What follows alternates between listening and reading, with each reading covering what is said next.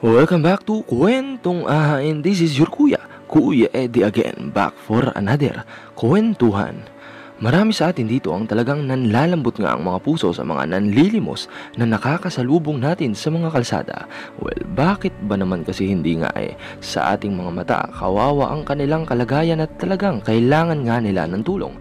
Lalo na nga yung mga nakikita nating matatanda na nanlilimos o kaya ay may kapansanan, nako, sure bull yan kapaagad tayo ng pera sa bulsa natin. Pero alam nyo ba na minsan nga eh may mga loko-lokong tao na pati nga ang magpanggap na nanlilimos ay ginagawa na nilang modus.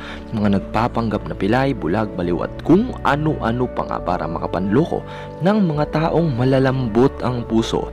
At sila nga ang pag-uusapan natin sa video nating ito. Pero syempre bago ang lahat ay huwag mong kalilimutan na i-like nga ang ating video at mag-subscribe ka na rin. Lagi kang updated sa mga bago nating kwentong. Aha. Ang una sa listahang ito ay kuha mismo dito sa atin sa Pilipinas. Sa video ito nga ay may kita ang isang lalaking walang isang paa at nanghihinga ng tulong sa gilid ng kalsada. Maya-maya pa ay may isang lalaki na nagsuspecha sa kanya at tinanong nga nasaan ang isa niyang paa. Nasa isang paa mo. Ha? Nasa isang paa mo. Nasa isa, isang paa mo. At ayun na nga, dahil sa nasindak ito sa taong nagtanong, tumayo nga ito para ipakita ang isa niyang paa. Well, mahusay ka kuya pero mas mahusay yung nakabuko sa ginagawa mo. Sa Northwest China naman, isang video ang nag-viral doon dahil nga sa pag expose ng isang peking taong walang paa. Well, sa video ay may kita ang isang lalaki na parang ang sinisipat-sipat ang isang taong walang paa na naman na nakahiga nga sa parang skateboard at nanlilimos sa kalsada. Maya-maya pa ay pilit nitong hinila ang salawal ng nanlilimos. Sa unang tingin ay mukhang nantitrip itong lalaki sa kawawang tao nang biglang Ayun, lumabas nga ang katotohanan na hindi pala totoong walang paa itong lalaki at nanloloko lamang. Sa hiya ay lumayo na lamang ito pero pinangatawanan pa rin niya ang kanyang asta at ayaw talagang tumayo nga. Well, unfortunately for him, eh may isang tao na nakakita sa kanya na nakasabay niya pala sa bus. Ilang oras nga bago siya magpanggap na walang paa. Kaya ayun, namukaan siya sa kalsada. Sa video ito naman ay isang pilay ang na-expose ng isang mahusay na reporter live on TV pa ito.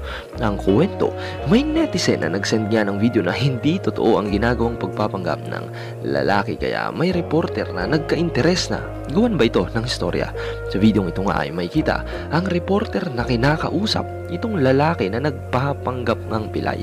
May kita rin sa video paano pilit na umaarte itong si kuya naman para nga paniwalain sila na totoong pilay nga siya.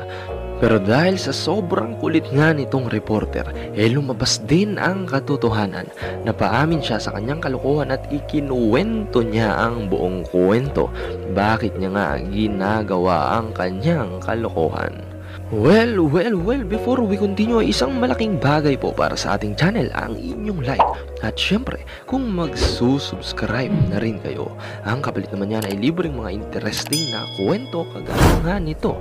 Well, salamat po ng marami sa inyong walang sawang suporta. Ang sunod na kwento naman natin ay tungkol sa isang lolong nanlilimos nga na nag-viral sa India. May mga concerned citizen kasi doon na nag-expose nga sa kanyang ginagawa. Lumalabas na itong si Lolo pala ay may mataas na pinag-aralan.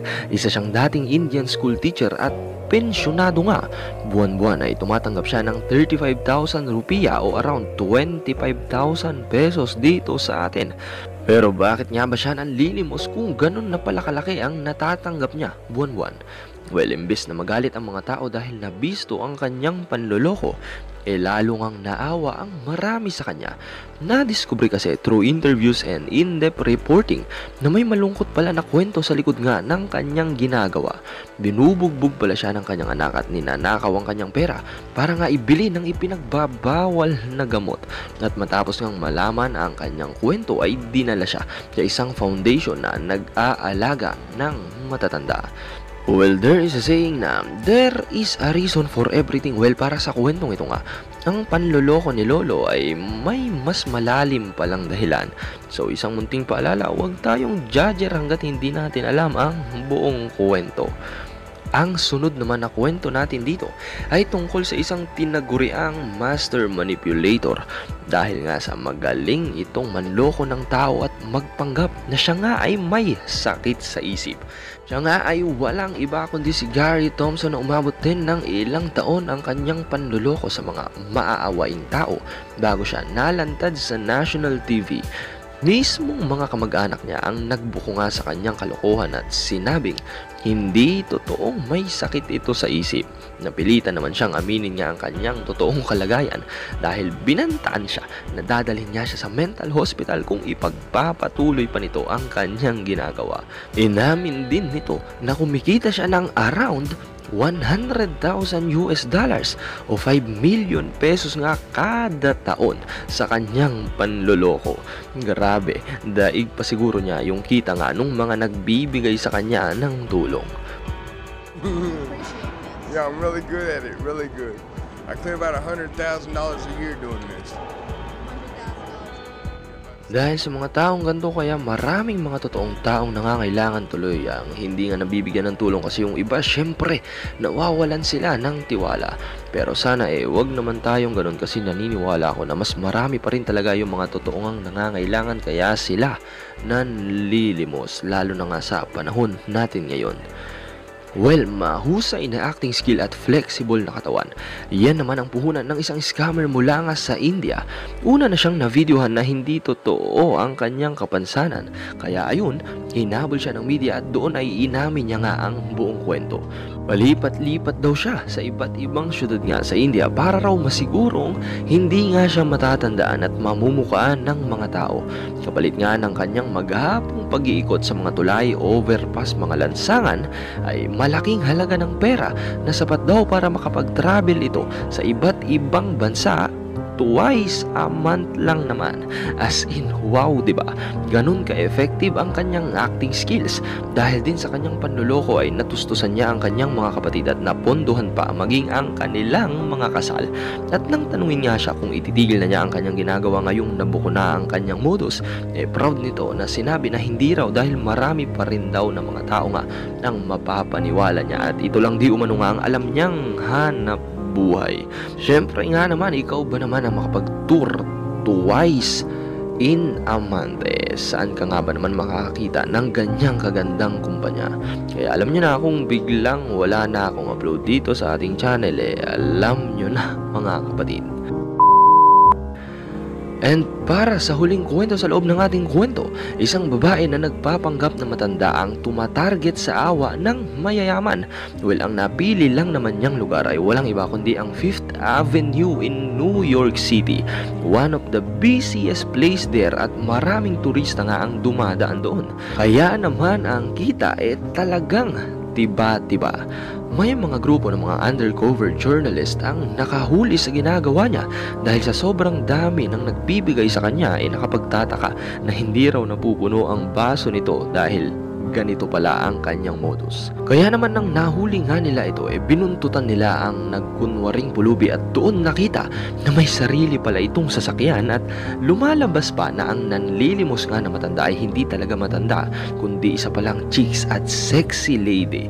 Gamit nga ang kanyang mga nakulimbat ay nakapag-shopping ito at astang mayaman pa nga ang loko. Bugong! Barinig kita sa mukha! Pero nang usisahin nga siya ng mga journalist sa kanyang panloko eh bingi-bingihan lang itong si ate. Muli, kung biglang wala na tayong upload eh alam nyo na ang landas na pinili ko sa buhay. And well, well, well, again kung nagustuhan nyo ang video ito ay pakilike naman po at syempre mag-subscribe na kayo para updated kayo lagi sa mga bago nating kwentuhan. At kung gusto nyo mag-suggest para sa susunod nga nating topic ay gamitin lamang po ninyo ang ating comment section and of course, hindi natin kalilimutan nga nabatiin yung mga kapatid natin na nakasama natin sa nakaraan nating mga kwentuhan. Maraming maraming thank you at isang pagbati po para sa inyo mga kapatid.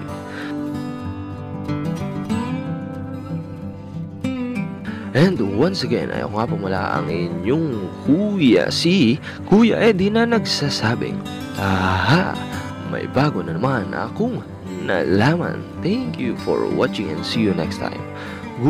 Bye.